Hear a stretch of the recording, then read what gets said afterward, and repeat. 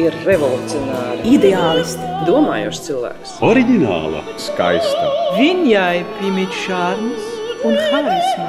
Līsija Strate, sieviete, seks un karš, komēdijā un drāmā.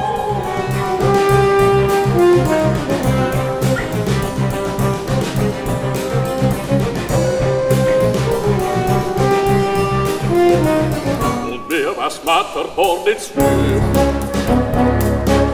nicht der Friede könnt ich sehen.